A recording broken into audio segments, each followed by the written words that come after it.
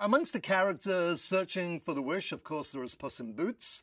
Uh, he will encounter his old friend, uh, Kitty Softpaws.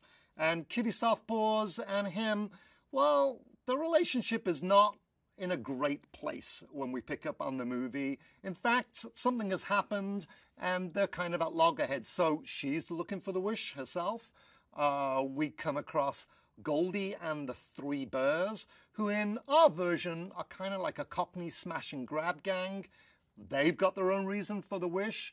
And um, the big nemesis in this movie is uh, Big Jack Horner. Um, you might not remember that name from the fairy tales and nursery rhymes. In fact, he's really a lesser known nursery rhyme, and that really is his issue. He uh, lives in um, the fairy tale world, and he's resentful of all the characters that seem to have uh, better name recognition and more powers.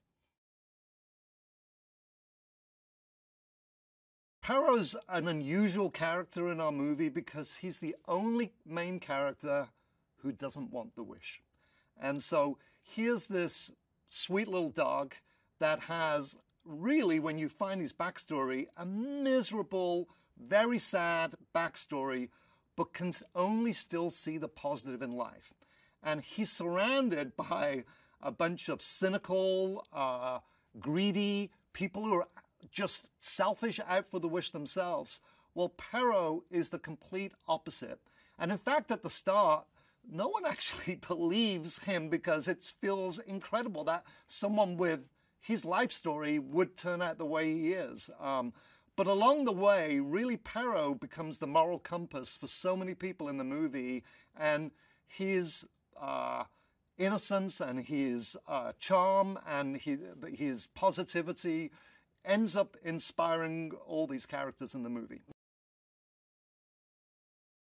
We're incredibly lucky to get John Mulaney to play the villain in this uh, movie. If anyone has uh, seen any of his stand up, they know that this guy is top of his game in, in, in the comedian world, and he really brings that to this role.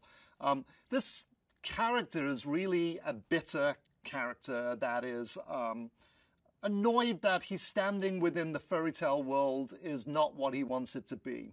And so taking the edge that John Mulaney has and putting it in this character that's kind of angry and bitter is just this perfect combination that makes him like stand out and unlike any other character in the movie.